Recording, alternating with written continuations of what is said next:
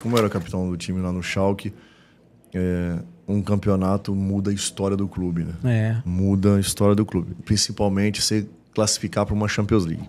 Nossa. Vamos lá que vamos ver o tanto de grana que o Schalke 04 ganhou. No primeiro ano que eu estava lá, eu fiz gol, os dois gols que classificou o time para a Champions É o League. atleta que faz o clube realmente alçar voos É, maiores, né? exato.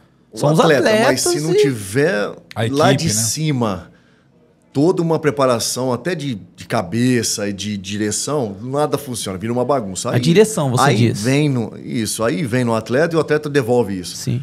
Agora, classificamos para a Champions League. 35 milhões de euros da Gazprom. 35 milhões da FIFA.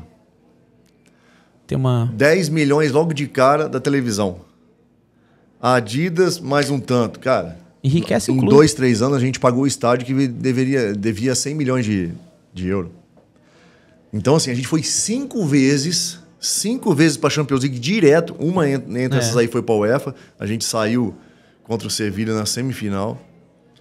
Um gol lá espírita, mas beleza. O que é um gol espírita? Nossa, O que é um gol O espírita? cara, o cara bateu de três dedos, daqui a bola entrou lá no ângulo, cara. Não, não, não, Que sorte, mano. O cara é chuta. Pelo o cara de chuta pra um é. lado, vai pro outro, faz não, gol. umas coisas.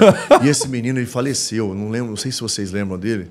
Ele jogava na Espanha, ele teve um ataque cardíaco, cardíaco. dentro do campo, cara. Um moleque forte, um bicho.